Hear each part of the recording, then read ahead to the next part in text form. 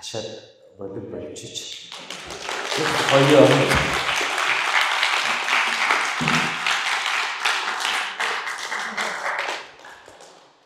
нэг энэ тэнд чол чол чол чол гэх аа. Библиэр нэг алдартай үг байдаг. Та нар мэдэх баг. Ургач нь ариун ажилчт нь цөм байна. Аа би орхны сэргэн мандал чуулганд үйлчилж исэн үе байгаа. Орхны сэргэн мандал чуулганд үйлчилж байхад надад нэг тийм юм анзаарч ирсэн. Нэг хотоос ингээд сэтгэлийн хөөрлөөр хүмүүс ирдэг байхгүй. Тэгээд ингээд амар улаан хушууны үнэтэй газруудыг түрээсэлж аваад Тэгээ нөгөө түрээсэлсэн газараа зунжингаа ингээд бүр санхүү мөнгөөр зодоод орхиныхын чинь ингээд баг багаар ер нь ихэнх хүмүүсийн темп нь жоохон орхины хүмүүс жоохон гомдож магадгүй. Зунжингаа ногоо тариад тэгээд намар нь хураагаад ногоогоо өгөөд тэр мөнгөнөөрөө банкнаас зээл авсан зээл авч ногоо тарьсан мөнгөө төлөөд өвлжөнгөө тэр мөнгөөрөө аригтаад намгүй өвөл ерөөс оройн цагаар хүн амтаа орлон өдөржингөө өнгөө суглаан муглаан байхгүй л хөл ингэж өрнөдөг юм темптэй байсан. Одоо яасан мэдэхгүй. Тэгээ нөгөө хотоос ирсэн хүмүүс андшгүй том том юу пад падууд ажилуулаад амар ногоо тарьжсэн. Яадгийн нэг 100 наадам маадмын үеэр тэд нар ингээд наригдсан ингээд хөдөө гадаа яваад ногоогоо арчлахгүй хаяад за одоо нэгэнт өнгөрсөн гэж хажид юм шүү. Мөнгөтэй учраас өөр ширгүүч байх юм уу тийм Тэгэнгүүт нөгөөх нь амар урган төмс, мөмс, луу муу. Тэгэхээр нөгөөх нь хурааж түүх ажилчд баг. Ягаад гэвэл эзэн нь ажилчин хөлсөхгүй юм чи хэн хурааж түүх вэ? Тэр үед би яг энэ үгийг ойлгосон байхгүй. Ийм гоё төмс газар дээр ялзарч идэг. Ийм гоё луун байцаа эндээ ялзарч идэг. Түүгээд авах ажилчт нь баг. Аюу харамсалтай. Үгүй бол тэр их луун байцааг нь өөр хүмүүс түүх түүгээд авч болно гэдэг нь хашигаа буулгачдаг байхгүй? Би ч гэсэн Тонга улсын иргэн Филиппе гэж мишонертэй хамт тэнд ажиллаж амьдардаг үйлчлдэг байсан болохоор айлын талбай зөвшөөрсөн талбай дээр ногоогийн түүжл байсан. Хулгай бол биш шүү дээ тийм үү? Эзэн хаяад явцсан. Тэгээ би ингээ гаргаж ирж байхдаа ямар гой гой ногоо энд ингээ дими ялцарч байна. Ингэж боддог байсан. Бид нар өнөөдөр чуулганд маань зүрхэнд хотгонд маань анханасаа сурж байсан бэлгэр цэцэг гэдэг.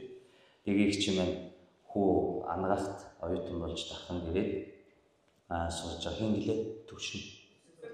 Хүсэл бай. Хүслээд юм ба шүү дээ. Хүслээ. Хүслээгээд юм аа өөрхөн дүү маань ирсэн байна. Дахинд байх хугацаанд энд оюутан байх хугацаанд аа эзний өдрөө манай чуулган дээр харуулсан. Мөн манай цуглаанд нэг ихэр байдаг байсан тийм үү? Нэг авцалдаагүй хоёр ихнэр ихэр байдаг тийм үү? Хүүс нь өөр, зан нь өөр. Тэгээд эмхтэн даруухан эмхтэн нарцгнуур баймаар байтал эмхтэн амар. Тэгээ өчигдөр тэр чат яаж байгаа юм шиг пастрого ганцаараа өөрөө өртөг яриад сайн уу пастор өнөөдөр өсвөрийнхнээ сүмдэр хонёо гэн өөдөөс нь би вирус спам гэсэн симбол явуулчихгүй чи бол миний амьдралын вирус гэж байгаа албаа. Тэгсэн чинь өө за за гэснээр юу гэсэн гэж хонж болно үсттэй гэснээр доор нь миний өмнөөс өөрөө өөртөө болноо гэж бичснээр за маш их баярлалаа пастор гэдэг. Би яг хинтээ ярьчих юугээд биччих. Тэгээ өчтөр бид нэр сүмдэр хонсон. Гэхдээ өнөөдөр цуглаанд хараад сүмээ чирлээ. Тэр нөгөө хоёр ихрий чи эмхтэй байхгүй юу? би бод өнөө өглөө ханаа пастор тийс энэ хоёрыг хүүсэн зангийн солилцуул өшөглөө даммаар дагцтай даммаар дааж эмхтэй болохоор болдгоо. Эрэхтэй аюул дарах. Ийм ихэр байсан чинь одоо дахиад нэг хоёр ихэр ирсэн. Гэхдээ энэ хоёр авцалтаатай. Хүүс нь өөр биш ижилхэн хоёулаа эрэхтэй. Хоёр хоёулаа эрэхтэй өстэй. Дашгаг нь жоох хаярхан болохгүй энэ тал дээр гэдэг. Тэгээд хоёулаа хоорондоо ив ижилхэн мавц та хоёр ингэж босоо зогсдоо.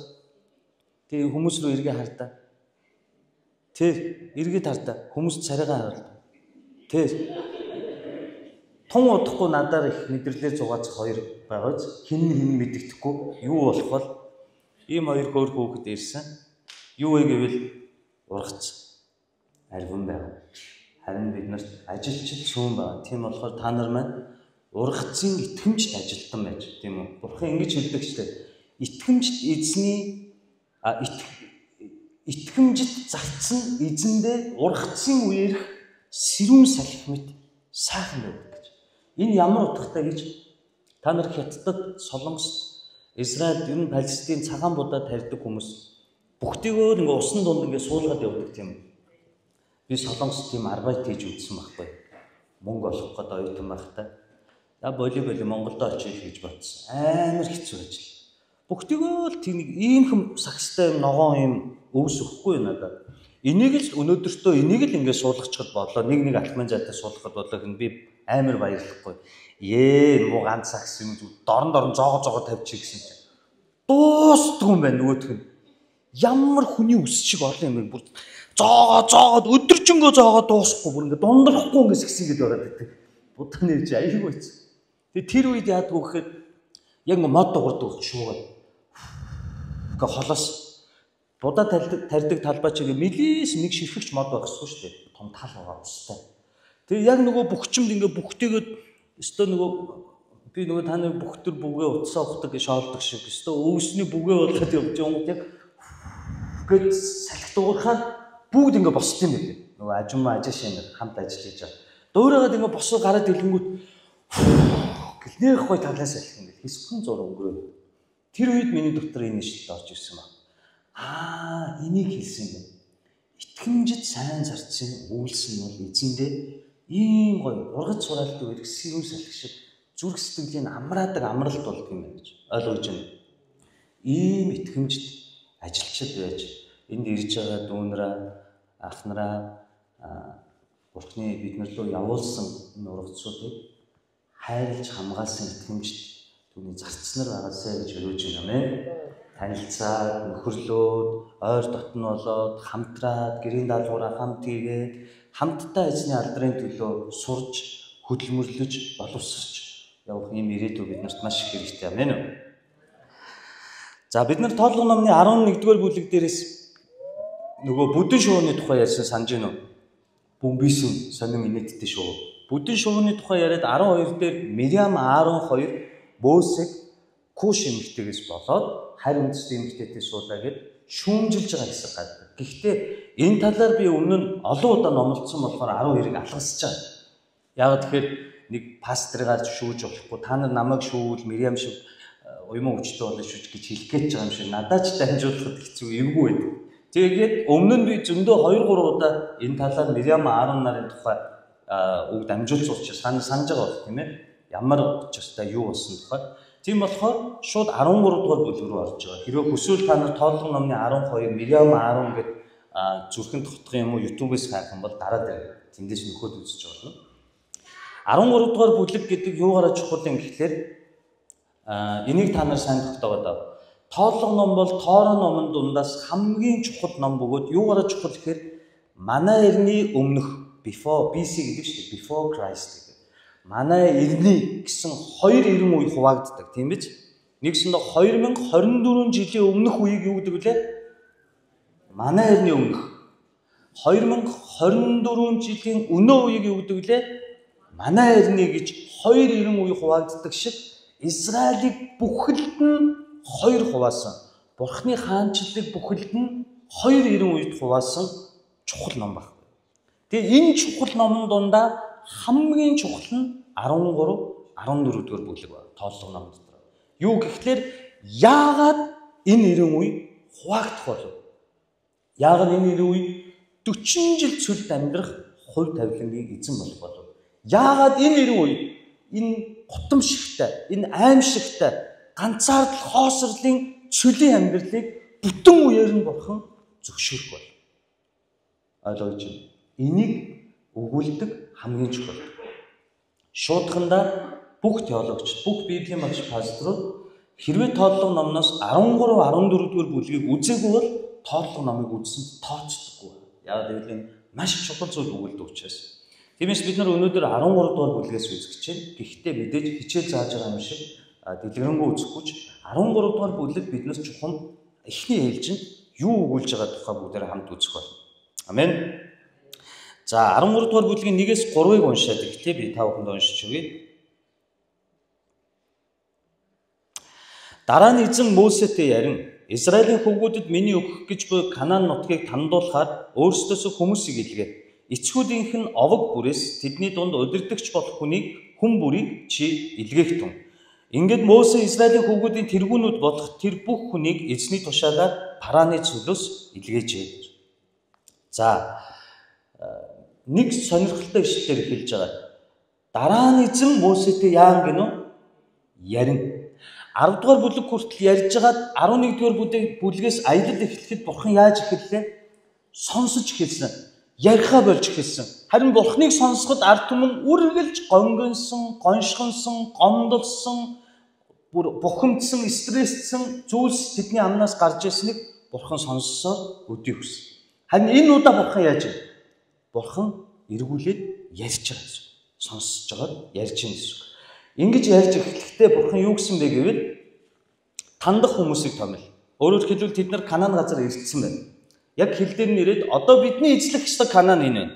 Бидний хувьд бидний мөрөөдөл зүүн хараа, алсын хараа. Бидний бурхан дотор дуудагдсан дуудлагын хил зав дээр ирсэн. Би энэ хувь тавилангийнхаа эзэн байх уугүй юу гэдгээ шийдэх тэр мөчөд Израилийн ард түмэн ирсэн. Тэд нар нэгэвт ирсэн. Тэгээд тэд нар цаашаа Канаанд руу орохын өмнө бурхан Мосед юуг тушаасан гэвэл овог бүрээс ямар хүнийг гэсэн хурдан шаламгай гэсэн үү? Удирдахч нараас нь удирдахч нараас нь овог бүрээс нэг хүн гэвэл Израиль хэдэн овогтой 12 овог аймаг гэхээр хэдэн тагнуул тавьж байна 12 тагнуул тавьж байна юу вэ гэвэл нэг талаараа харуул тагнуул хүн гэдэг чинь болж игэл ганцаараа болж игэл цөөхүүлээ хүний нүдэнд өртөхгүй байх байтал 12 хүн арж загаад яваад ивэл энэ хаанаас ирсэн ямар хүмүүс манай нутаг усаар яваад байна гэд танд шүү дээ. Ийм дутагдaltaй мэт санагдах боловч нөгөө талаараа хин гэсэн удирдахч гэсэн.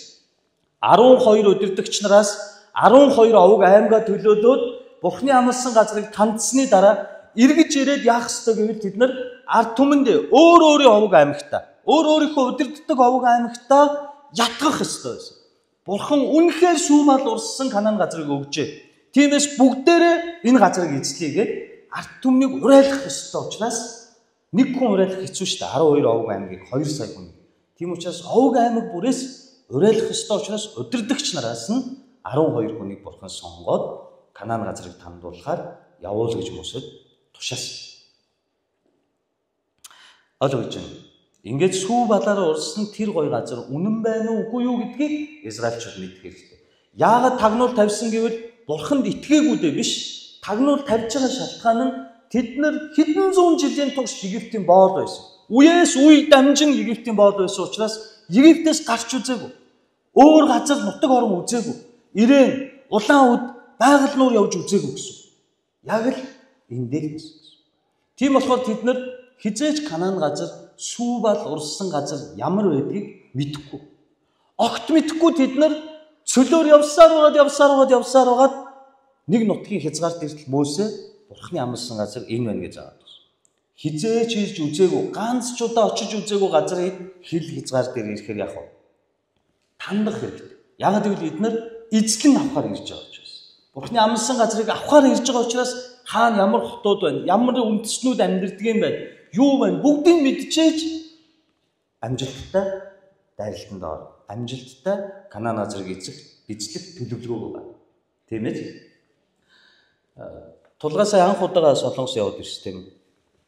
Тулгааглагч. Эвгүй байна уу? Яг солонгос буунгт юу эвгүй гоц. Би би бүр анх удаага олон жилийн өмнө л би баг 10 20 удаа явсан дандаа үйлчлээ. Гэхдээ би нэг очичоод залбирагчаар нэг хүн авчилж болно гэсэн байхгүй юу? Бүх зардал даадаг штеп. Тэгэхээр чин гоё. Миний визийг даана, миний ирж очих зардлыг даана, очиод байх байрыг даана. Тэгвэл та нар шиг ингээд хөөе юу вэ гэхгүй штеп. Надтай тэгж харьцахгүй. Тэнд чин маш их хүндлэн тэргүүн пастраа, ахлагч паструудаа хүндэлдэг тийм сүнслэг зарчим ихтэй. Тэгээд тэгж мессеж эднэрээр өө юм уу гэхгүй чам шиг харьцахгүй. Айгуу гоё хүндлэн. Тэгээд дорж байгаа пастор ирээд нэг хэлсэн штеп тийм үү Кадиллакаар ингээд ямка ахыг авч явдаг, лимузингээр ингээд хүнд номлогч одоо үйлчлэгээр хийсэн пастор гэж явдаг. Тэгсэн энд яаж вэ? Тэг ингээд тохируулаад пианогоо дараад энд ягаад өксүрийнхэн загнуулаад хөө зогсож миний үг дуустал сонсч гэж шиг. зарим нэг цэнхэр бичээхтэй хүмүүс яг гоо энгийн ах トゥ угийн харилцаа гоё л доо гэхдээ тэнд өөр амьсгал өөр байдаг. Тэгэхээр залбирчдыг хэнийг аваа явуулсан гэж пүүжээ баши. Янзын залбир шүү дээ. Арай л бөөлөг баг. Яг үү үний юм чи. Тэгэл өглөө 9 цаг семинар эхэлнэ. Орой 5 болтол би тийм дотоод эдгэрлийн семинар чи хэцүү тийм үү? Уйл нь, хашгир нь, сандал мандал авч хийдэн, томхон эндрийн ард болтон тэг маш хүнд сэдв ялангуяа хайр газар. Тим сэдв дээр ингээд үйлчилж байтал өглөө 9 цагт намайг оруулж өг. Найз нь залбирна. Орой 5 өнгөрөөгөө дин дун ирж намайг авч өг. Бараг би авч өг. Хоног газар руу. Ингээд тухайн үед 4 хоног үйлчилж байгаа нэг орой бит хоёр анх удаага болохоор ингээд тэр чинь миний анхных байхгүй. Метрогоор явах хэрэгтэй болчиход. Тэгээ нөгөө э, сүм чуулганы урьсан хүмүүсээс жоохон санаа зовоод зүгээр пастор нэг өөрөө номлогч нь өөрөө уучраад явчих. Та нар надад зөндөө анхаарал тавьж байгаа. Маргааш өглөө би яг 9 цагт ирнэ гэд аминдаа одоо өсвөрийнх нь та нарын яриагаар бол морж штэ. Хитэн найзтайгаа метронд орлоо. За пүүжээ хоёр яваад орсон. Анх удаага орж байгаа анх удаага метро харж байгаа яахаа мэдэхгүй 20 идэх настай хоёр залуу ингээд гайхаад харж байгаа хүмүүсийг ингээ хаасан чинь төрөвч аваад дудууд дудууд гэд метро руу ороод байна очихоор хаалга онгоодгүй. Тэгээ харсан чи түрүүчийн метроны нэг төмөрөн дээр дууд дууд гэд ороод ахаар нь хоёлаа аа мөнгөтэй үгүйг шалгадаг юм байна гэд мөнгөө хийлээ түрүүчин дээр. Тэгээ түрүүчээ барьчаад ингэсэн чинь дудууд гэдгвэ. Буцаад хол очоод зогслоо. Хоёул хүмүүсийг анзаарч дуудууд л гэдэг. Тэгэхээр би сэтгэхгүй пүүжээ хоёулын гэж мөнгө баг болохоор наа чинь оруулах байх шүү. Чи дөрөвчөнд мөнгө минийх рүү нэмээд хийчих гэ. Бүх мөнгөө нэмээд Монгол мөнгөнд тэмдэгт уншдгүй юм шиг байна гэдэг Монгол мөнгөнд тэмдэгтээ салгаж авч байгаад очиод дарлаа. Байдгүй. Дудууд болдгоо. Хангалттай дайны мөнгө гэд хоёлаа дахиад холоос ажигласан чи нэг залуу ирээд ийм алимны хайрцагтай юм шиг хайрцагтай юм байсан залуу ирснэ. Нөгөө нэг метроны нөгөө ордог мэдрэгч шүү дээ.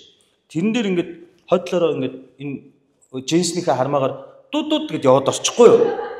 Тэгсэн манай бүж хөш наа чин төрөвчийн бүхсдэх хармаанд байгаад ингүүл ажилт юм шүү очлоо. Хоёулаа санаа зовоод X ажилдаг бай. Чи үсттэй пүүжээ X ажилдаг. Тэгсэн чи тэрслийн юм шилний цааныг солонгос өвөө бүр нүрээ дараад инегэд болдгоо бит хоёр.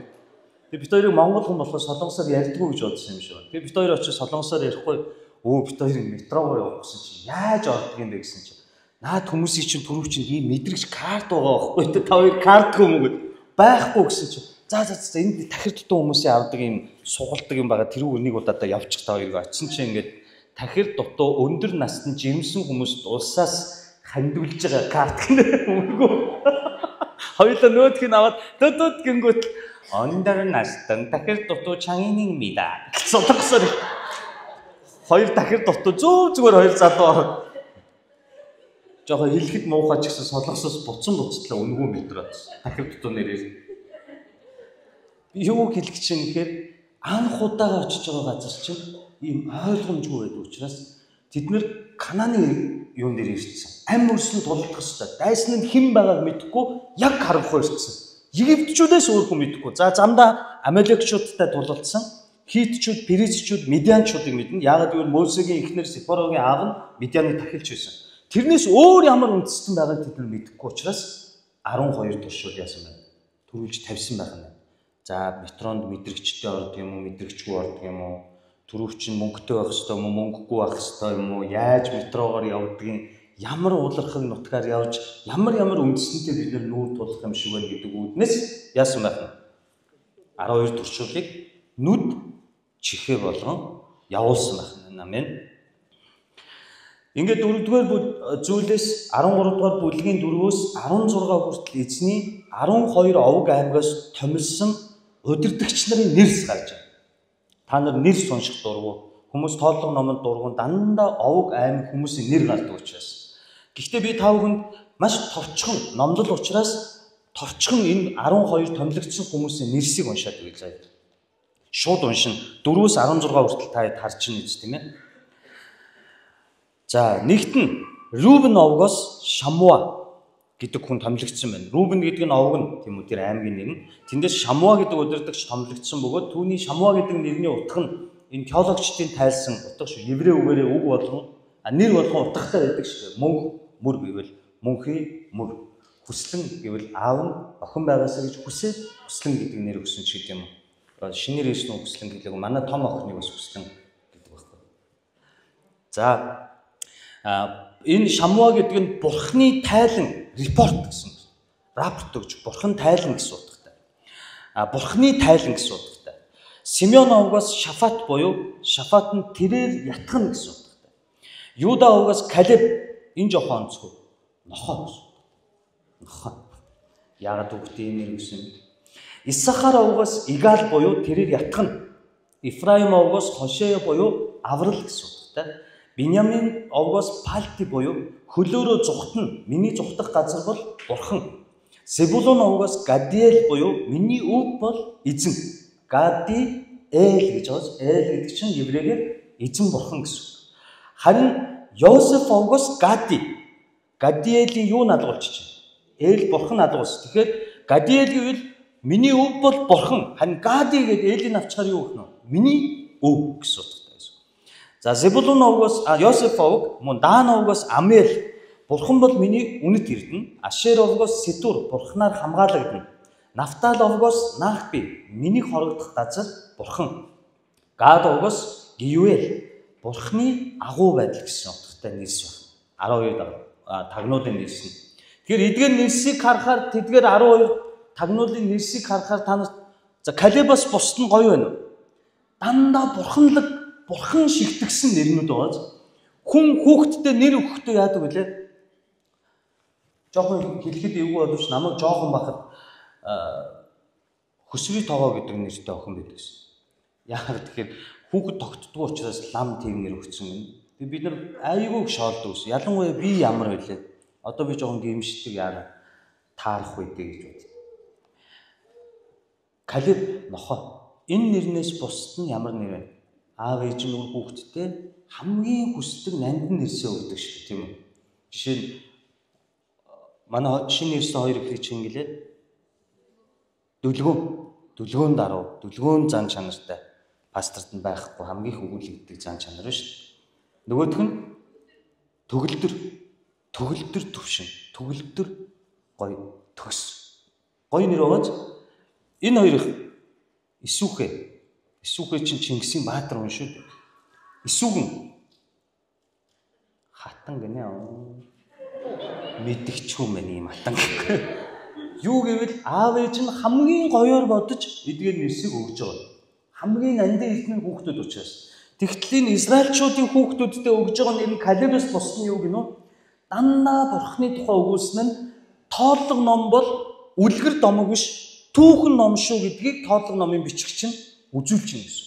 Ягаад тэгэхээр эдгээр нэрсээр нь одоо ч судалсан ургийн бичгээр нь судалсан яг манай эртний өмнөх эдэн оны үед одоогоос 7000 гаруй жилийн өмнө Шамуэ, Шафат, Калеб, Игал, Хошея, Палти, Гадиэл, Гади нар ийм ийм тушуулууд манай овгоос төлөөлж Сетур нар Ингэж ингэж удирдагч нар Канаан газрыг анх удаа хөл тавьж тагнасан юм шүү гэдэг түүхэн байна. Энийг тодорхой тооллого ном бол үлгэр домог, зохиол, уран сайхны ном биш. Энэ ном бол түүхэн болсон үйл явдал буюу түүхэн ном юм шүү гэдгийг бичгч маань тодорхой болгохын тулд энэ удирдагч нарын нэрсийг сэрүүлэн үлдээсэн байна. Нөгөө тэгвэр Египтэд байхдаа Израильчуудын итгэл үгүүрэн хоосорж явах тэр үед Бурхан руу гомдлон, уйлан, зовлон дундаа залбирж явах тэр үед тэдэнд юу өгүүлэгдэжсэнийг эдгээр нэрсээс бид нар харж байна. Жишээ нь Нямка пастор том охиндоо хүслэн гэдэг нэр өгчээ. Тэгвэл Нямка том охиноо төрөхөд Нямкагийн амьдрал юу өгүүлжсэн бэ? Том нь ах нар байхаар зодоод гай байдаг юм аа. Охин байгаасаа, эгч нь байгаасаа. Гэхдээ Иесус шиг эгч байвал бас хэцүү байх тийм эсвэг. Нөгөөх нь юу байх нь вэ? Инрэл. Яг тэр үед нямкад юу хэрэгтэй байсан байх нь? Хинч биш болцсон. Нямкад бурхны өршөөл, инрэл нэгүсэл хэрэгтэй байсан байна. Амьдрал харагдж байгаач нэрс хүүхдүүдийн нэрсээс. Тэгвэл Израильчуудын итгэлийн байдлыг харуул бурхны тайлан тэрээр намайг ятгах нь тэрээр ялгах болно. Тэр бол миний аврал Би хөлөөрөө зүхтэн. Миний хорогдох газар бол эзэн. Миний өв бол эзэн. энүүгээр юу харагдаж байна? Тэдний тээж явсан итгэл тэмцэл нь харагдаж байна. Тэд нар бид нар шиг ийм амар тайван итгэлийн амьдралаар амьдраагүй боолчлол дунд итгэлээ хэрхэн сахижсэн нь үр хүүхдүүддээ өгсөн эдгээр нэрсээр биднэрт илэрхийлэгдэж байгаа гэсэн. Тийм учраас сэрүүлэгч маань энэ хүмүүсийн нэрсийг тодорхой бичиж өгсөн байна. Одоо ойлгоо гэж байна. Залхмаар зүйл биш байгааз. За энэ дундаас зүгээр дараа нь онцолж ярих боловч энгийнээр Калеб яагаад нохоо гэдэг нэртэй үе юм бэ гэвэл хамгийн сүүлд 40 жилийн дараа энэ удаа чадахгүй. Тэгвэл 40 жилийн дараа Канаан газар ороход хэн амьд үлдсэн бэ? 12 тагнуулаас. Калеб мөн сая Юдаогоос Хошея гэж байгаа чи хэнийг хэлж байна? Нууны хүү Йошуаг хэлж байгаа. Йошуа хоёр амьд үлдсэн. Бүтэн 600 мянган хүн буюу 2 сая итгэлгүй Израилаас 40 жилийн турш цөл бүгд өхнө. Тэр үе өнөөдрийн энэ алдаанаас болж. Тэгээ дараагийн үр хүүхэд нь 500 мянга 600 мянга бол тооллого хийгээд тэд нар Канаан руу ороход өмнөх бүх үеийн өгсөн байхад 300 хүн амьд үлдсэн нь Мосе, Йошуа, Калеб гурав үлдсэн. Ингээд Калеб ингэж хэлдэг. Уулархаг өндөрлөг нутгийн өмнө 40 жилийн өмнө бид нэг удаа ирсэн билээ. Тэгэхэд та нар итгэлгүйгээс болж эзний амласан Канаан газрыг авч чадаагүй учраас бид нэр 40 жил цөлөөр тэнүүчилсэн юм аа. Харин одоо дахиад сүүлийн удаа уулархаг 20 Иерусалим Бершиба байдаг энэ хүчрхэг Канааны хотуудын захад 40 жилийн дараа дахин ирлээ. Одоо хэн ийшээ дайрах вэ гэсэн чинь 80 настай 40 настай Калеб 40 жилийн дараа хэдтэй болох вэ? 80 настай Калеб босоод Мөсөд Йошуад юу гэж хэлдэг вэ? Йошуа та санаж гин үү? Та бит хоёр эдэр залуу 40 настай байхдаа энэ нутаг руу дайрж ороод эзлэе гэж хэлэхэд бүх ард түмэн чадахгүй гэснээс болоод мөрөөдөлд өгөрч чадаагүй. Харин өнөөдөр би хэдий 40 жилийн дараа 80 насыг зоогдсон өвгөн боловч би 40-тэй шиг хүчтэй, эрч хүчтэйгээр мань эзэн намайг хадгалсан тул одоо энэ өндөрлөг уулархыг нутгийг орж эзлэн авахыг манай овог, Юда овог надад зөвшөөрөж гэж. Энэ үед Йошуа юу гэвэл Бурхан чамайг өрөөг Калеба 40 жилийн өмнө байсан итгэл чинь 40 жилийн дараач хэрэндээ байгаад эзэн талах. Тиймээс Калеб одоо морд одоо Канаана эзэн гэж. Ингээд хамгийн баялаг, хамгийн үнцэнтэй, хамгийн жинхэнэ сүү балаар урссан тэр сайхан газрыг Калеб эзлэн. Хэн блэ? Нохой. Бурхан миний хорогдох газар, Бурхан бол миний өв, Бурхан бол намайг ятгахч, бурхан бол ялагч гой нэрнүүд байна. Ийм гой нэртэйнүүд нь үгүй байтал. Нохо химээх Калеб бурханы амралтыг авч 40 жил итгэлтэй хүлээсний дүр. Энэ юу хэлж байгаа вэ? Бичигч маань биднэрт эдгээр нэрсээр бас нэг мессеж өгч байна. Гой номлодог, онлайн хичээл заадаг, гой гой магтан дуу зохиосон, өстой нэрээгээд нөгөө гой нэртэй 10 тагнуул шиг нямд сэрэнгийн артал итгэлгүй байдал байж болдог бөгөөд хинч биш нохоо мэд үзэгддэг сул дорой нэгэн яг бурхны нүдэнд калеб шиг цэвэр итгэлтэй байж болдог юм шүү. Өөрөөр хэлбэл тэр үдсгэлэн төгөлдөр бурхан шигтгсэн эзэн миний хорогдох газар мазар гэсэн нэрийг утгатай тэр сүрхий мундаг харагддаг нямканууд нохооноос хувь тавилантай итгэлгүй байж болдог. Хүмүүст л гоё харагддаг. Харин хинч биш сул дорой нэгэн эзэн Калеб шиг үн цэнтэй бас байж болдог гэдгийг амлалтанд хүрч чаддаг цэвэр итгэлтэй байж болдог гэдгийг эдгээр нэгс дундаас бид нар анзаарч харж байна. Тиймээс яг хүнийг биш, гоёыг биш, үдсгэлэнтэй сайхныг биш, амбиц, карьер, популяц өөрийгөө өргөмжилсэн нэг нэг биш. Нохоо мэд Калеб түүнийг хамгаалan сахигч Бурханыг харж ирдэг хэн бидний эрүүл итгэлийн амьдрал байна. Амен? Амен.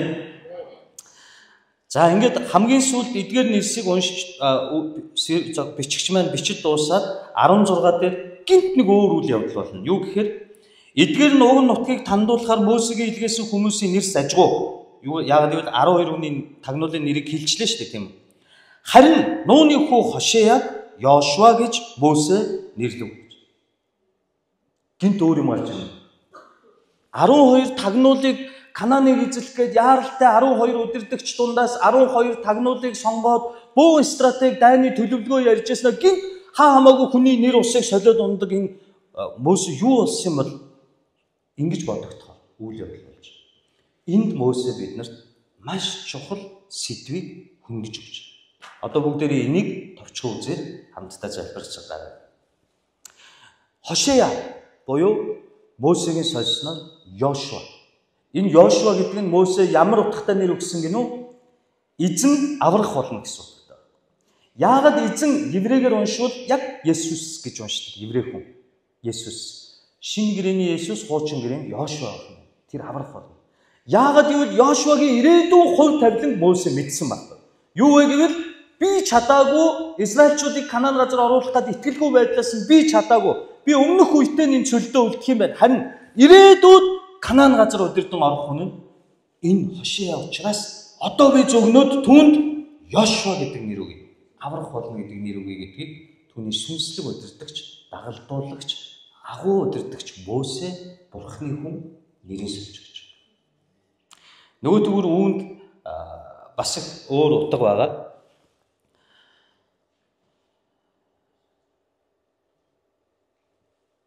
Өмнө нь нэг Библиэлд бидний үзснээр нэрийг нь сольж исэн, нэрийг сольж исэн хамгийн алдартай Бурхны хүн итгэлийн баг. Хиний нэрийг солиодоо? Авраам. Авраам эснийг Бурхан юу гэж өөрчилдөг вэ? Авраам болгож өөрчилдөг. Ямар утгатай нэр вэ? Үндэстнүүдийн эцэг. Өөрөөр хэлбэл зөвхөн Израилийн биш, бүх үндэстний эцэг. Бидний итгэлийн эцэг гэсэн. Авраамыг Авраам болсон. Ингээд хоёр дахь удаага бурхан хиний нэрийг сольж өгдөг үлээ.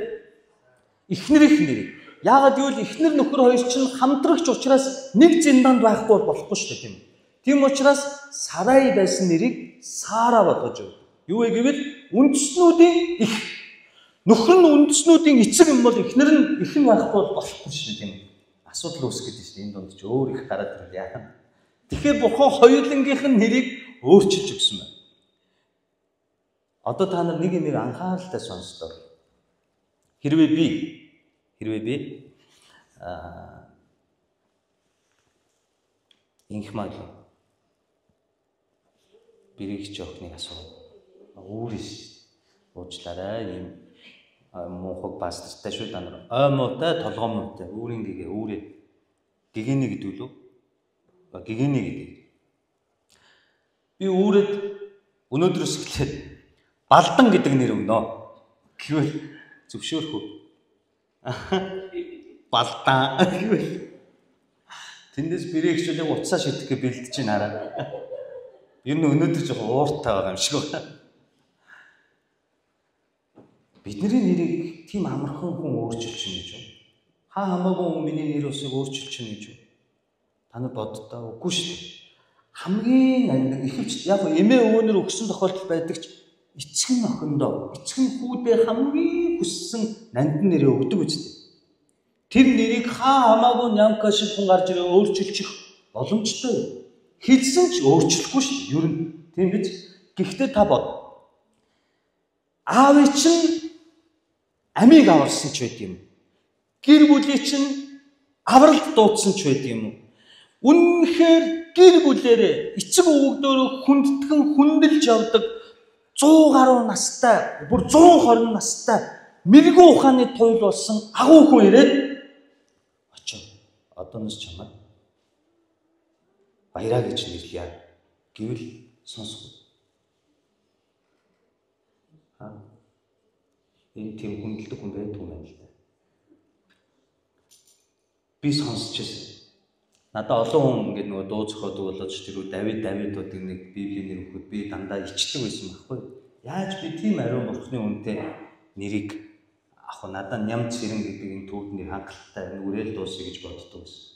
Нэг удаа Пак ах маань намайг чамд Хосея гэдэг нэр өгье гэсэн юм. Би юу нөгөө янхантай суудаг Хосея юу яриад байгаа юм та гэсэн чи үгүй ээ.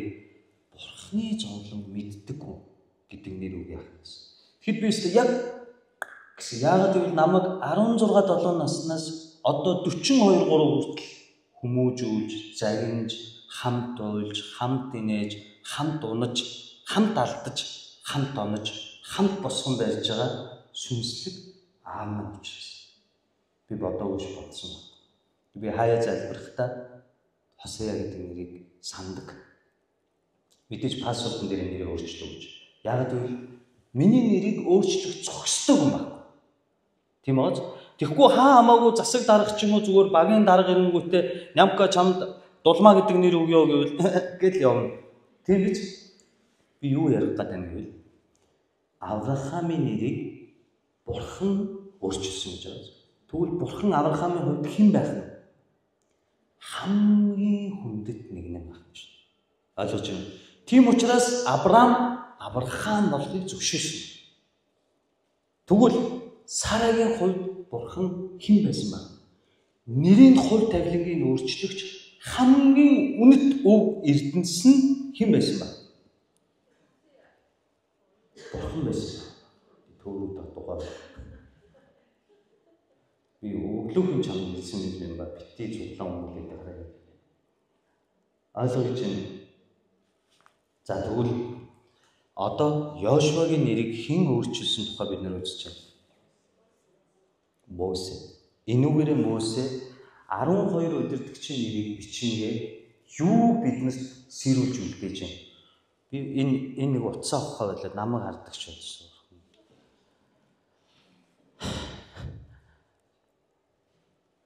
12 удирдгчийг томилохдоо Мөсе нэг хүнийг ялгачиж байгаа 11-ийн үлдээгээд нэгийг ялгаад нэрийг сольж чинь. Тэгвэл Йошуа тэрийг үгүй би хошоогаараа бай гэсэн? Итгэлээр хүлээж авч. Тэгвэл Мөсе Йошуагийн хувьд хэн байх нь? Итгэлийн эцэг нь хамгийн дотны ах нь удирдгч нь дагалдуулдаг нэг нь байсан байх юм шүү дээ. Ойлгож байна. Одоо ойлгож байна. Энийг Мөсе биднэрт хэлхийг хүссэн байхгүй юу? Би Йошуагийн хувьд төлсөн эцгээс нь үнэтэй би түүний хувьд үнэхээр Бурхныг төлөөлөг удирдгчин байсан юм шиг гэж олон юм нуршихгүйгээр өнөөдөр 21-р зуунд сэргэн мандалчууд та нар энийг ойлгох онлайн номдос сонсож байгаа энэ олон мянган хүмүүс энийг ойлгох зүгээр л би Йошуагийн нэрийг хошоо байсан Йошуа гэж сольсон гэдгээ нэг л өгүүлбэр бичлээ. Та нар өшөө жоохон тунгаан бодоод чимээг цаг. Тэгвэл та нар юу ойлгох вэ гэвэл аа Мосе бол Йошуагийн сүнслэг эцэг гэж хэлдэг ойлго. Одоо ойлгож байна. Йошуагийн тухай Мосегийн ингэж холсноос гадна хэдүүл Йошуагийн тухай гэдэм үзээд хамтдаа залбирах цаг гаргая. За Йошуа Библиэлд гинт гарч ирдэг. Ихэнх Библийн удирдагч нар яаж гарч ирдэг вэ гэвэл юу яалаа тийм нэртэй хүнээс Авраам, Сара хоёроос 100 нас гарцсан жирэмслэх боломжгүй байх үед Бурхны амлалтаар Исаак төрлөө гэд Исаакийг ингээд Исаак 12 настай байхад хорой буул руу аавж явж эзэн дөрөвхөөр явж ялаа 3 хоногийн аяллаа гэд ингээд түүхээр нь гардаг бол Йошуа гарахтаа шууд гитлэл номны 15 дугаар бүлэг дээр нууны хүү Йошуа гэж гардаг. Терминатор тэнгэрээс нүү гэж бууж ирдэг шин. Ямар үед гардаг вэ? Гитлэл номны 15 дугаар бүлэг бид нар чуулганаараа цувралаар хоёр давтаад үзсэн шүү дээ. Юу гардаг вүлээ? А? Бөөсөө уулан дээр гараа өргөдөг түүх гардаг шүү дээ. Санаж байна уу? Дөнгөж улаан тэнгисийг гатлаад гараад ирсэн чинь Израильчуудын өдөөс ямар үндэстэн хамгийн анхны дайн хийж дээрлэх гэж ирдэг вүлээ? Хамгийн их дээрэм тонол хийдэг байсан Амалекчууд шууд Израильчууд руу ямар ч шалтгаангүй дайрдаг. Ямар ч шалтгаангүй дайрсан чинь Мөсө хөгшөрсөн учраас яадгүй дайнд явж чадахгүй харин Израильчуудыг хэн толгоолоод жанжнаар нь удирдаад Амалекчуудтай дайддаг үлээ. Нууны хүү Йошуа гэж шууд гарч ирсэн. Анх гарч ирэхдээ Йошуа Израильчуудыг толгоолоод Мөсөгийн харанд оронд удирдаад дайнд Амалекчуудтай тулалддаг. Гэхдээ Йошуа ялдаг уу?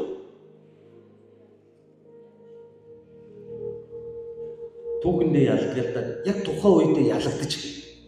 Тэнгүүд Мөсө яадаг вэ?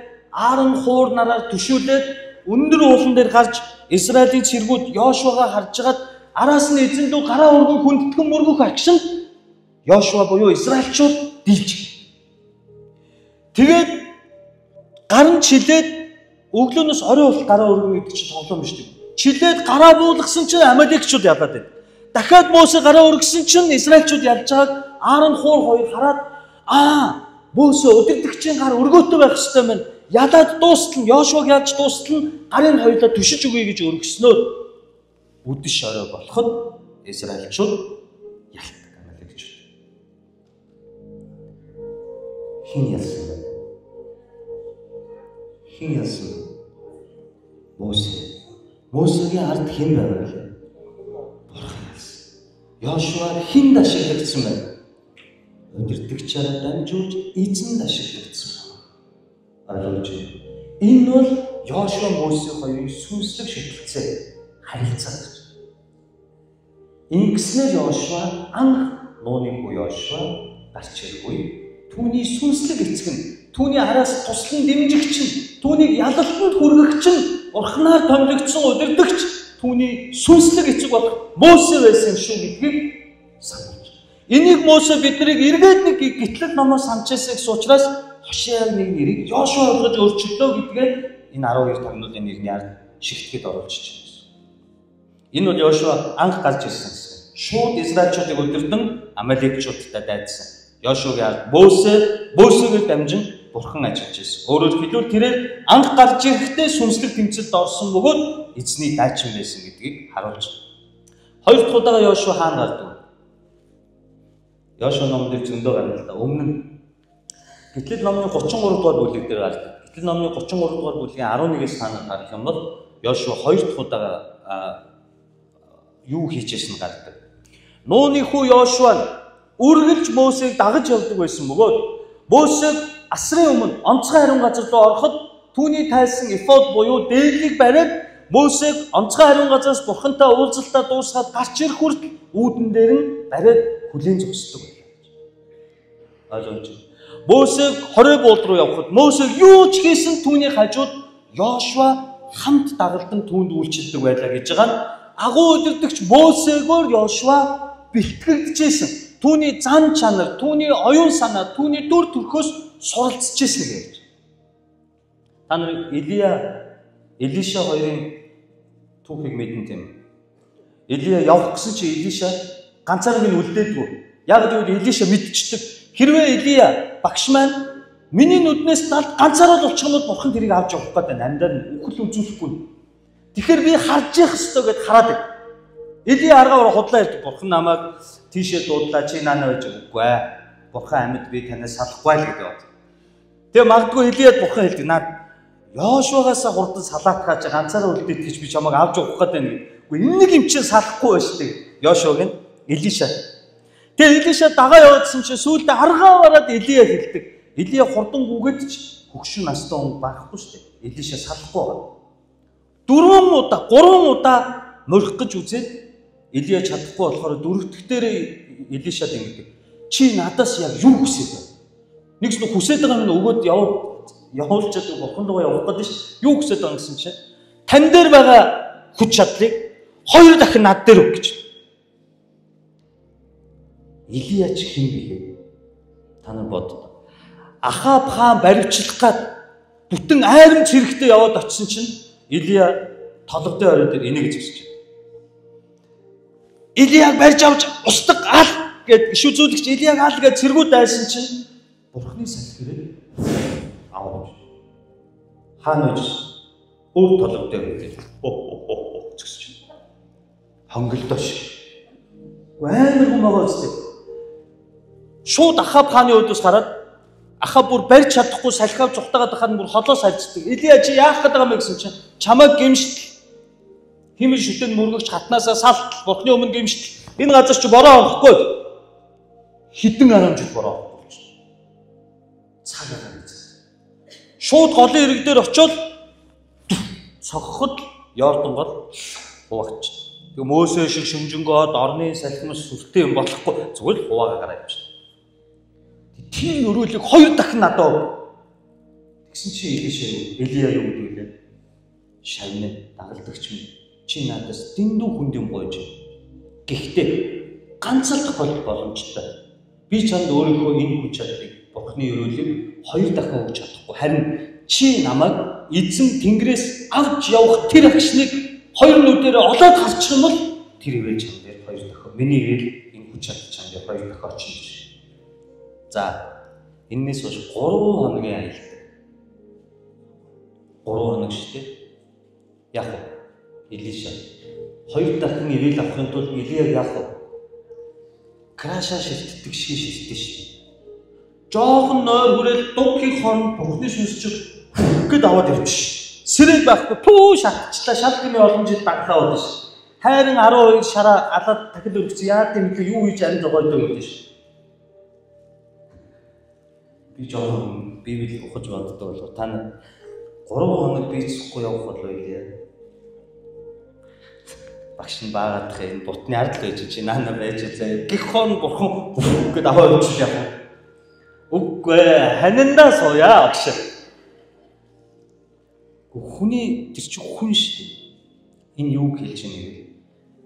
Дагалдагч хүн зөвхөн номлол сонсож биш. Зөвхөн тэр хүний библийн талаар гоё цэцэн мэрэгэн ярьж байгааг биш. Юуг харж байна? Амьдрал үйлсийг харж байна. Тэр яаж амьдарч байна? Тэр яаж нойл орж байна? Тэр яаж бусдтай харьцаж байна?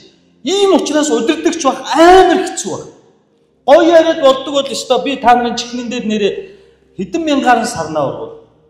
Даанч тэглээгээд хинч удирдахч болж болох нь зөвшөөрөгддөг. Өөрөө зүв баг шаардлагатай. Би битээ арихгүй гэж загилсан бол би өөрөө уухгүй байх хэрэгтэй байдаг. Битээ муухай цан гарах гэсэн бол би өөрөө сайхан цан гарах хэрэгтэй байдаг. Битээ бардан бай гэж юмсан бол би өөрөө бардан биш байх хэрэгтэй байна. Энэ бол удирдахч. Ийм удирдахчийг бурхан танилдаг. Тиймээс Илия Илиша томсон ш. Мөсийг Йошуа. Тиймээс Йошуа энэ 33:11 дээр үргэлж Мөсийг дагдаг байлаа. Үргэлж бүх тал дээр түнд үйлчлдэг байлаа гэдгийг нь юу харуулж байна? Баян Мөсөтэй хамт явж, баян Мөсөгийн зөвхөн яриаг биш, зөвхөн дуулахыг биш, зөвхөн хийхийг гой цэцэн мэрэгэн ярьж номлохыг биш. Юу хардаг байсан байх нь? Унтахыг, босхыг, идэхийг, уухыг, ууралхыг, алдахыг, онохыг бүгдийг харж суралцсан учраас яг Илиша Илиягаас хоёр дахин хүчрхэг ивэл авсан шиг юу болдгоо? Мөсегийн хийж чадаагүй хийж Ичин сэтгэлээсээ сэрэг мандалч байна. Чин сэтгэлээсээ нүгтэй хамт байгаа бүх бурхны хайртай өгөөд өгтөдийг үнэн зүрхээр ирээ. Илишагийн Йошуагийн өрөөлийг амьдрал үйлсээр өөрчлөгдсөн. Илиша Илияг алдчихаагүй шүү дээ. Санаж байна даа. Галт морь тэр ирдэг Тэнгэрээс. Бурхан унаагаа явуулж таксигаа явуулж. Илия үсрээд тэр үеийн хүмүүс эфод өмсдөг байсан. Дотор хувцас өмсдөг байсан ба би наанаас ярьсан шүү дээ. Орой унтахтаа эфодоо тайлаад нүмрүүд унтдаг, өглөө усад өмсдөг. Тийм учраас дагалдагч нар Марк номон дээр Есүсийг эцсэмэнд баривчлахад нүцгэн шалдан, чармаа шалдан зүхтаалаа гэдэг нь тэд нар ч нөө эфодо тайлаад дотор утсан өмсдөг, нүмрүүд унтчих гинт ромын цэргүүд ирэхээр айсандаа өмсөж амжихгүй бага шалдан зүхтаасан байна. Тэрийг хэлж. Илия галт тэрэг хэлсэн. Илиша 3 хоног нүдэн ширхт ширтсэн болохоор харсан. Багшаа Яг Илия зүхтагаад гал тэрэг рүү суусан чинь Илиша яадгүй. Эфодос байдаг. Тавиач тавихгүй та ерөөдөө өгөхөөс би тавихгүй. Тавиач гэж юу болов? Эфодонд урдаа гарах. Хөөе хүмүүс багшаа шалтгаан явуулчих. За гоос тийм болсны байдаг ч юм уу ч. Ингээд авч үлдсэн нөмргөө авч явж хагаад Йордны ирэг дээр очисон чинь иш үзүүлэгчдийн хүүхдүүд баахан халзуу хүүхдүүд хараад зогсож байна. Илишаг бурхан аваа явуулсан. Одоо а Илийг аваад Илиша тэр хүчин байна уу? Илиша нөгөө нүцгэлж авч үлдсэн багшийнхаа хувцсаар Йордан голыг бурхны хүн Илиягийн хүч хаана байна гэж Энийг харсан бүх иш үзүүлэгчдийн хүүхдүүд Илиягийн сүнс Илишагийн дээр хоёр дахин байна. Илиягийн сүнс Илишагийн дээр хоёр дахин байна гэж. Энийг бид нар юу юу Йошуа надаас яг ингэж суулгасан. Тиймээс миний чадаагүй чадсан. Тиймээс би энэ өрөөлийг үгийн цагтаа яг одоо хамтгаа бүх хүний чин сэтгэлээсээ даруй сэтгэлээр өрөөхийг хүсэж байна. Энд байгаа бүх томилгоо тослогоо надад байж болох тэр ивэл нь хоёр дахин илүү сэрэг мандалчуул байна өгөөд. Тийм учраас чуулганыхаа суурийг тавихтаа хүртэл таван давхар болж болохоор тавьсан. Хизээний өдөр бид нарыг хөгшрөөд алга болсны дараа өсвөрийнхэн та нар хүүхдүүд сүмэнийг хоёр давхар болгочихлоо. Иргэн тойрон баахан 9 10 давхар баригчлаа. Сүмэн жижиглээд байна гэх үед та нар сүмийнхээ нөгөө 40 хэдэн саяар хийлгсэн зургийг хараарай. Тэгээд та нар одоо байгаа хөгшин ахлагч нар ахлагч пасторуудад баярлах бол яагаад та нар энэ дээр дахиад дөрвөн давхар нэмж барьсан ч бол фундамент тийм хүч чадалтайгаар тавьсан.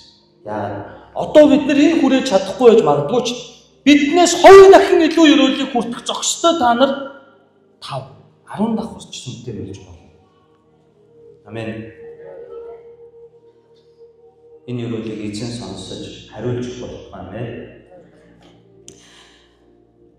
Хамгийн сүүлд Йошуагийн тухай нөгөө тулгаан нэмлээ хоёрын түүхэн дээр гардаг санаж байна уу? нэг хоёр залхуу юм майхан дэвтчихэд Элдад Белдад гэж хоёр Медад Элдад Медад нэр нь үртэл бүр нэг төстэй. Тэр хоёр яадаг вүлээ? Майханд байжсэн чинь эзний сүнс ирэхгүй. Мөсөд ирээд Йошуа юу гэдэг вүлээ?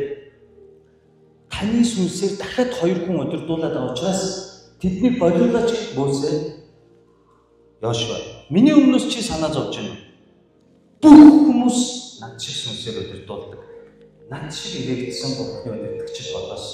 Бурхны ард түмэн дээр түүний сүнс бүх ард түмэн дээр байгаасаа гэж. Энэ бол маш том хичээлийг Йошуа зааж өгч байгаа. Чи бусдын өмнө ганцаархнаа пастор болж, бусдын өмнө ганцаархнаа мундаг царайд, бусдын өмнө од болох гэсэн наад хүслээ өгөөдөөгүй цаг хизээж бурханд ашиглахгүй. Чи өөрийгөө хинч биш, нохоо мэд Калеб шиг, Илиша шиг, Петр шиг, Яаков шиг нүдэнд өвддөг Паул шиг дахианы донготхыг сонсч уйлж урвагчаа сандаг Петр шиг чи өөрөө хинч биш болж оргуу хоосон бол сууй оргуу хоосноос өвчлөн ертөнцийг бүтээдэг бурхан чамааг ашиглаж ажиллах болно гэдэг агуу хичээлээ Мөсө өөрийн дарагдагч болох Йошуа зааж өгч. Гэтэл номны 33:11 дээр үйл явдал өрнөдөг. Ямар үйл явдал гэвэл Мөсө нэг удаа Мөсөг Израильчууд өгчлээ гэж бодлоо. Яагаад өгчлээ гэж боддог вэ? Мөсө Синаа уулын буюу хорийн уулын гарт 20 буулмны доор Израильчууд ирсэн чинь тэнгэр дуураад бурхан ярьж гээ. Тэгсэн Израильчууд юу гэдэг вэ? Мөсө энэ үүлэн донд бурхан байгаа бөгөөд Эл Шадай бурхан байдагт биднэрт итгэж байна. Тэр биднийг өдөрдөн дагуулж байгаад итгэж байна. Тэгтээ чи биднийг төлөөлж очиод бурхантай уулзаач. Үгүй бол бид нар үхэх гээд байна гэж хэв үү? Ягаад гэвэл онцгой 21-ний хоолыг сонсож зогстой байдал Израильчуудад байгаа. Тийм учраас бид нар уулын бэлтгэл Мөсө төлөөлөөд гэтэл номны 33 та нар уншаар цаг их явах учраас би гიშтэн гэж. Төлөөлөөд 20 бууд руу явахдаа хэнийг дагуулж явдаг? Йошуа дагуулна. Йошуа Мосе хоёр явж яснаа яг 20 буудын биелд ирснээр Мосе яад Йошуа чи эндээ байж. Би дэше гарч бурхантай уулзчаад эргэж ирээгээд дэше уул руу гал. Хэдэн өдөр алга болчихдгоо. 40 өдөр 40 шин. Израильчууд доор байгаа Израильчууд 40 өдөр 40 шин 80 настай таяг барьсан өвгөн уул руу гараад алга болчоор үхчлээ гэж бодсон. Тэгээ уурлаад Аарон руу Мөсө өгчих шиг боллоо. Энэ амир үүлнээс гарч байгаа Бурхны дууг сонсоод бид нар үхэх гээд байсан юм чинь ойртож очсон Мөсө тэр наятаа өвгөн үхсэн байгаа бах. Тийм болохоор бид нарт Бурхныг бүтээж өг гээд Аарон алт мөнгөний нураажгаад алтан дуулсан. Тэд нар алтан дууглаа баалыг шүтдэг шиг завхаардаг, нүцгэлдэг, бүжгэлдэг, би биеэ зүсдэг, цусаа урсгадаг, хашгирдаг, ир эмгүү завхаарцгаа Харин энэ үед Йошуа хаан уу? Уулны дунд. Дээшээ ортөхөр Мөсө байж байгаа хэлсэн. Доор хүмүүс шуугаал байна. Юу болж байгаа мэдэхгүй. Ганцаараа 40 өдөр 40 шин Синайн цөлийн уулан дээр өдөртөө 40 50 60 градус халуун шөндөө хөлдөж өгмээр бүрд. Ядаж юу идэж уусан болов Та 40 өдөр 40 шөнө явал толгой орой дээр амьдрах уу? Зулцган модонд ч байхгүй ш. 40 өдөр 40 шөнө. Бас нэг хэцүү нь юу вэ гэвэл Мосе Йошуа чи гүрийж гараа. Би яг 40 өдөр болоод бууж ирэх шүү гэж хэлсэн үү? Хилээгүй. Юу ч мэдэхгүй, хизээ яах нь мэдэхгүй хүлээх шиг хэцүү юм амьдрал байдгүй. Хэцүү. Би нэг найзгаа харж Надтай уулзаад 2 цаг болохын хооронд бараг 100 удаа уцаа гаргаж ирээ карта шалгав. Чи юу дахин дахин уцаа ухаад ангас цалин орох нь хүлээж байна. Хоёрхан цагт хүлээхэд 100 гаруй удаа уцаа дахин дахин ороогүй. Яач вэ? Ороогүй. Яач вэ? Гэл нөгөө хин гинөнийг ихч өгөө заа ихчээ тэрний санхүү нь бол цалиа орж байгаа юм бол аа аа уучлаарай. За нөгөөх нь муухай ааштай юм аа. Энэ японууд манай жогч яг нэг сайхан ааштай харагдав хизээ яах нь мэддэхгүй хүлээн гэдэг үнэхээр хэцүү. Йошуа ийм хүлээлтэд тиссэн баг. 40 өдөр за би байсан бол нэг 10 хоноод болио. Борлоод харлаад бүр өнгөрлөө найс маш түлэгдээд шүн хөлдөж өгчих гээд ахын энэ өвөө одоо за буугаад ирүүлдэ надгүйгээр ингээд доошо хүрээд ирнэж нөгөө хэд дээр очиж ханьда ядаж нэг аяг шүд хийж ууя гэдээ доошо буунда Йошуа буусан. Йошуагаас гэрээд асуувал энэ хамгийн хэцүү юм байсан. Мосе өдөртөг чинь байж байгаа гэж хэлсэн. Доор ард түмэн ганцаар өсвөлөн халууцах зовох бүх хүнд үеийг Йошуа хоёр ч удаа Мосе орой буул руу дагуулж уулан дээр өнгөрсөн. Гэхдээ өнөөдрийн үдээр харуул алтан тоглыг шүтж байгаа тэр бузар муухай итгэл холилдоогүй нэг хүн нь мэдээж уулан дээр байснараа Мосе мөн хэн үлдсэн бэ? Израильчуудын тэр бузар ёс зан шиг тэр хиймэл шүтээний хуурамч итгэл Йошуаг орооцолдуулахгүйгээр Мосе болон Бурхан хаан аваад үлдээсэн байна. Уулан дээр өөрөөр хэлбэл зовлон дунд. Зовлон дунд. Ганцаардал дунд. Цор ганцаарнгийн яахаа мэдэхгүй, хизээ дуусна мэдэхгүй зовлон дунд түүнийг ариунаар авч байна. Энэ бол өнөөдөр зовлонтойдоо талархах ёстой бидний шиг. Бидний амьдрал үхэл хагцал, өвчин зовлон, ганцаардал, сэтгэлээр унах, гадуурхагдах, хохирох, хоосон үлдэх олон ганцаардал байдаг бол түүний чинь анх бурхан ажиллаж байдгийг байна. Йошуагийн түүх биднэрт хэлж өгч байна. Юу вэ гэвэл тэр зовлон донд та ухаан сууж байдаг. Та ариусч байдаг. Эзнийг ирж хайж байдаг. Бүх юм нь бэлэн амьдралдаа өсөж үзээгүй, хар мандах мөнгөнд дутаж үзээгүй, брэнд цаг, брэнд хувцас өмссөн мундаг мундаг улс төрчид, мундаг мундаг тэр монтнуудын хүүхдүүд юу хийдэг вэ? Эхнээсээ лаиваар хар тамхи татчихээн, гал цуурч чинь, солиорч чинь, эхнэрээ зодж чинь, хүмүүсийг доромжилж чинь, гутааж чинь, хүчинд чинь, хулигдж чинь, эхнэр нөхрөө араар нь тавьж чинь хамгийн бузар булаад хийж чинь Харин та нар энэ дэлхийн бүх сууднуудыг нэрлээд үз. Шүүгэрт. Хөл өмгчин Роналдино. Роналдо. Сайн газет гэж байна. Майкл Жордан. Нөгөө алдартай юм билээ эмэгтэй сурвалжлагч чаа. Опра. Энэ алдартай хүмүүсийн түүхийг хардаа хинж тэр дундны хүүхэд байгаагүй. Хинж ипэг хандлан байгаагүй. Нөхөртөө зодуулсан, өвчтэй, ужиг өвчтэй, ганцаардсан, маш их зовлон туулсан хүмүүс ухаантай, бурхан дашиглагдсан агуу хүмүүс. Тэднээс салж, сарнсан, үнчирч, хоцорсон, маш их зовлон туулсан. Гэхдээ тэр зовлонд нь бурхан Йошуаг Израильчуудын бузар муутай хутгахгүйгээр уулын бэлэг Мөсөтэй нийлээ цэврээр нь авч үлдсэн нь ирээдүйн Израилийг Мөсеийг нь чадахгүй чадах агуу өдөртөгч болгохын тулд цэвэр ариунаар нь зовлон дунд зовлон тулуулж авч үлдсэн. Арабын өндөр зэрэглэлийн тэргүүн ерөнхий сайд хүн ингэж хэлсэн байна. Намайг баг бахад манай аав талхны зах гордож амьдардаг байсан. Миний ээж мөнгөгүй учраас хажуу хайлын эмээнэрт эгчнэр зодуулж амьдардаг байсан. Би готлолцсон учраас сургууль сурч чаддгүй байсан. Тэгэхдээ өнөөдөр би арабын шах болсон. Би тэр бомтнуудын тэр бомтон болсон. Харин харамсалтай. Өнөөдөр миний хүүхэд надаас хойш буцаанаа шиг гойдогч болох болно гэж. Яа. Энэ хүн өндөр зэрэглэлийн мэрэгэн ухааныг өмч хүмүүнийг эзлээд юу ойлгосон гэдэг.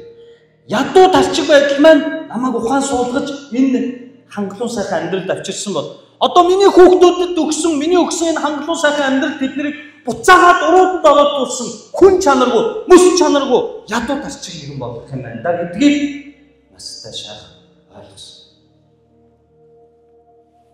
Би танд ядаж ганц удаа ядаж одоо өөртөө байгаа өвчний төлөө. Өөртөө байгаа гачиг дутагдлын төлөө. Өөртөө байгаа ганцаардлохоосрлын төлөө. Хуурай байдлын төлөө. Хүнд цагуудынхаа төлөө. Өвч бүү загалмааныхаа төлөө. Ядаж яг нэг удаа эзэн зүрхний өвчтөөр яа. Бардам сайхан намайг нам дарахын тулд та надад ийм үгс энэнгүүгээр нямка хүн чанар хүс чанартай амьдрахгүй байна баярлалаач. Тарчиг байгаа сүм чуулганаа гүйцэж чадахгүй санхүү мөнгөний хомсдолтой байгаа чуулганыхаа төлөө баярлалаа. Яагаад гэвэл ингэжээж бид нар бүтэн сайн байхынхаа төлөө залбирч өнгөрсөн 7 хоног шинийн залбирал хийж ингэжээж бид нар эзнээ хайж байна. Хэрвээ бид нар 2 300 сая төгрөгтэй байгаа тасаад масаадаа байсан бол шинийн залбирал хийх болов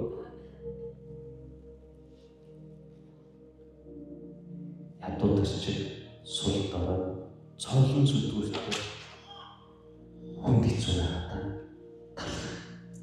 Таны бурхан ухааруулсан сэхэрүүлж ариунаар өөртөө ашиглахад хадгалж. Йошуа номын